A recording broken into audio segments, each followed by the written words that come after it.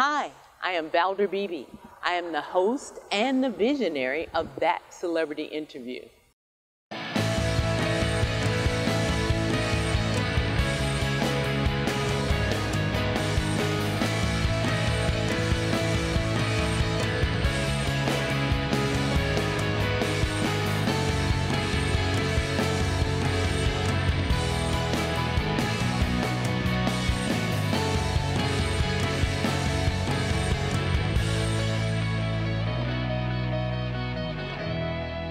Arthur Agatston. Welcome to the Valder Beebe Show.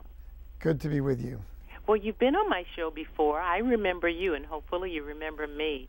You are my hero with the South Beach diet because it's going strong.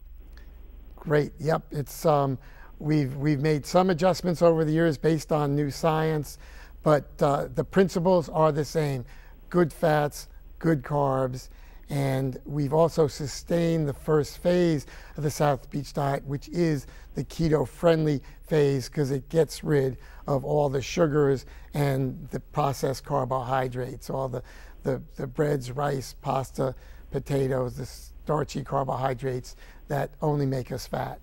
You must have been talking to my dietitian because she's already done that. Good for her. good for me, really good. Good for you. I want my audience to know that Dr. Agatston is a cardiologist and a creator of the program, the South Beach Diet.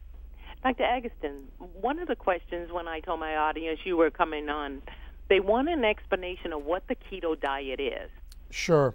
The, um, you know, because we have been told to eat so many carbohydrates, and that's again there are good carbohydrates like the non-starchy vegetables like asparagus and broccoli, but we've had too much starchy carbohydrates, the bread, rice, pasta, uh, too much too much sugar, and that's what we use for energy. That's burned. It's not the most efficient way for us to get energy.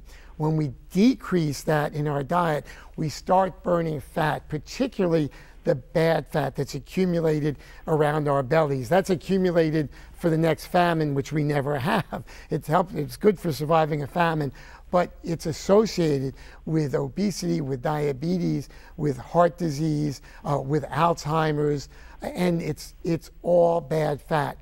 When you get rid of the carbohydrates, you start burning the fat as fuel. When the fat's burned, it's it's turned into what we call ketone bodies, which your muscle and your brain loves. We start thinking better when we're using more ketones. So the main thing with the, the idea of ketosis is when you're using less carbohydrates and more fat for fuel, it's healthier, you feel better, and that's what the future of nutrition is going to be. That's exciting to understand what we're talking about. So tell us about the way you have tweaked the South Beach diet for more keto-friendly meal options.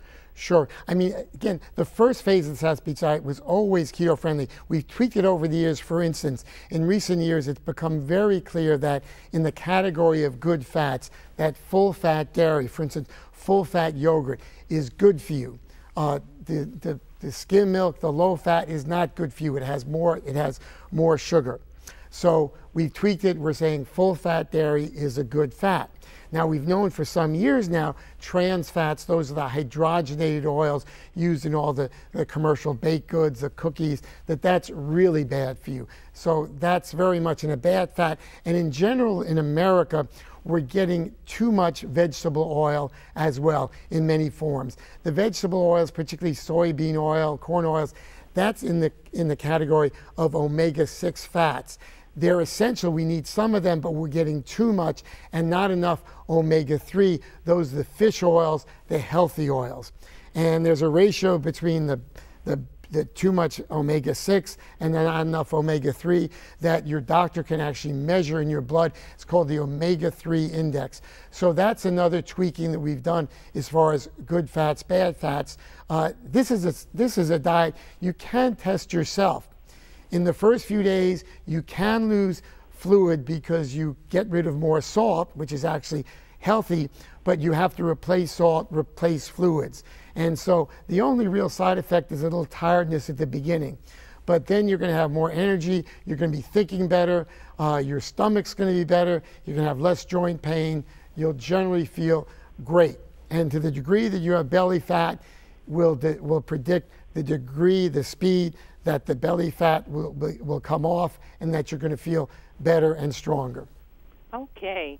I got one question I'm going to take from Facebook. They want to say that everything in the grocery store is almost labeled organic. Is that true? well, it's good, you know, locally grown. Um, years ago, everything was organic, was locally grown. And if it is, that's definitely a, benefit. A benefit. When we, with the Industrial Revolution, when we started transporting foods, all of a sudden shelf life became important. And that's when we added a lot of preservatives, a lot of trans fats that were made it cheap to transport food, but not good for us. If it's truly organic, locally grown, absolutely that's healthier. Dr. Agatston, you are a giant in the industry of, of eating. What trend? What other trend do you see for us this year, 2019? Before I let you go. well, I think um, you know the the commercial food industry is making it easier and easier to stay on keto-friendly first phase South Beach diet. And so originally with the South Beach diet, we had the first phase for two weeks we thought you had to eat more food, more variety. Um, there's a great variety that you can eat now in the first phase of diet. Overall, there are more and more commercial entities that are making keto friendly foods that are healthy. Now, with southbeachdiet.com, you can have it actually delivered to your house if you don't want to, if you know, if you don't want to cook. So it's getting easier and easier to stay on the first phase, the keto friendly phase of the of South Beach diet, and to extend that for months and even years, which is healthy and it's great for you. Arthur Agatston, thank you so much for talking about the South Beach diet, the changes, and how we can be more healthy. Thanks for always being a guest. Thank you. Great to, great to be back with you.